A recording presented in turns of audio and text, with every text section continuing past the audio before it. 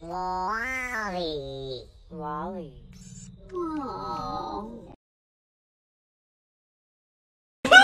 He's out of the house. mercy! Please stop!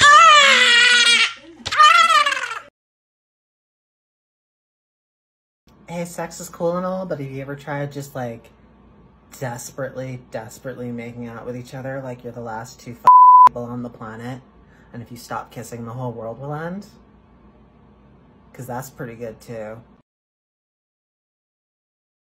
I'm so glad you were able to thoroughly explain that to me. Unfortunately, I'm really fucking stupid and you're gonna have to explain it yet again.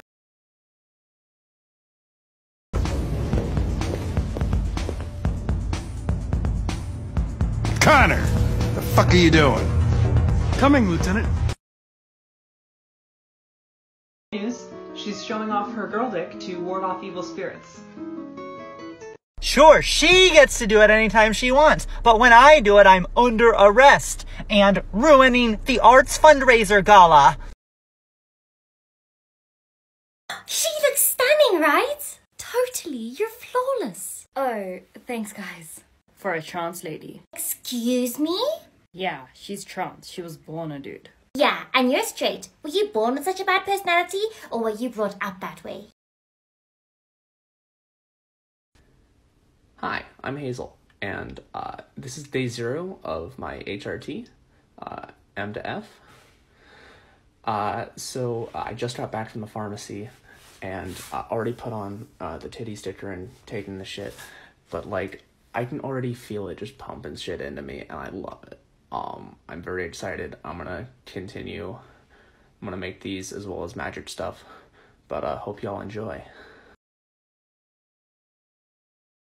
Prob says trans on every page. Excuse me, there's so much more to this princess than just being trans. Like, these pages is filled with so much goodness. There's heartbreak, there's falling in love, there's growing up as a mixed kid, there's friendship breakup, and so much more. But there's probably a lot of stuff about being trans. Yeah, there is, because that's part of my experience. Even if every single page was about me being trans, that shouldn't matter. Do you want to know the secret? This book is probably not for you. But if you're in the closet, then maybe you should give it a little bit of read. Hi everyone, welcome back to the Daily Dose. So today I'm going to be talking a bit more about why I do this because it'd be so much easier to be having my transition out of the public eye, especially since yesterday's video got a lot of hateful comments on it that I had to go through and delete. But really, I spent years and years hating myself. I don't anymore, but I hated myself so much. I can take what they're saying. There is nothing which they can say which is worse than what I said to myself. And I don't do this for the validation. No.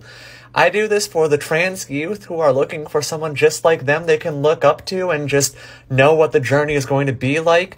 And I do this for allies who want to actually learn about the process of being trans. And really, all of you here have proven that there are so there's so much more love out there than there are the haters. So really, I do this for all of you and thank you so much. Here's dose 19.